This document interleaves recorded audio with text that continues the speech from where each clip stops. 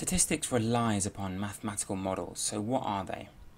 They are mini versions of reality that make things a lot easier to understand. What are some of their advantages? Well, they're quick, cheap, and easy to produce. Basically, it could just be someone sitting there with a pen and paper and using a bit of S1, a bit of maths. They simplify the complex reality, so they take reality, which can be really messy and chaotic, and make it a lot simpler in this mini version of reality, this mathematical model.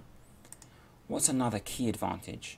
Probably the most important one is that these models allow us to make predictions about reality and then test those predictions. So they're very useful. What could be a disadvantage? A big disadvantage is that you might oversimplify a situation. So make reality so simple creates such a mini version of reality that it's not useful to anyone, doesn't even reflect reality at all. That would be a big disadvantage. How could you refine your model? Refine just means improve your model. Well, the key way to refine a model is to do experiments and bring in new information. Take into account things that you might not have taken into account before.